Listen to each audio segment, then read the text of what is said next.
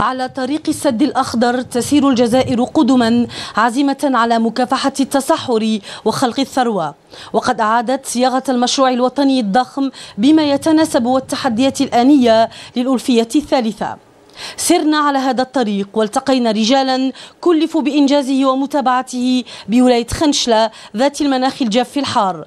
سألناهم عن محاور السد الأخضر بهذه الولاية السهبية الجبلية فكان جوابهم إعادة تأهيل السد الأخضر بعمليات مهمة ومعتبرة على مساحة 14 ألف هكتار ثم يأتي المحور الثاني هو محور توسيع السد الأخضر على مساحة 8000 هكتار ثم تأتي المحور الأخير آه، اللي هو محور توسيع المناطق السهبية الرعوية الفلاحية وهذا بمساحة أكثر من 114 ألف هكتار. فيه إضافة قوية وهو إدماج آه، دماج آه، السكان في تسيير ثروات طبيعية ثم ذهبنا إلى تبردقة الفلاحية السياحية حيث تم غرس أكثر من 300 هكتار من نبات التين الشوكي في إطار مشروع السد الأخضر وكذا آلاف أشجار الزيتون.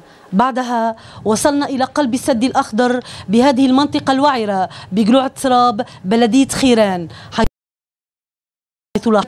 كثيرة على ضفاف وادي العرب. لأنه تعتبر من أكبر المساحة من أكبر مساحة السد الأخضر هنا.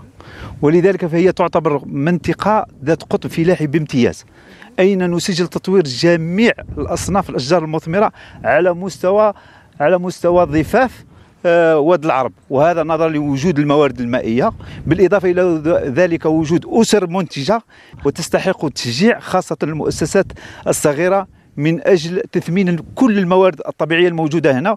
السد الأخضر لم يبقى سدا لإيقاف تقدم رمال الصحراء إلى الشمال، بل أصبح محورا اساسيا لخلق الثروة وتنويع اقتصاد بلد يمتد على مساحة أكثر من مليوني كيلومتر مربع.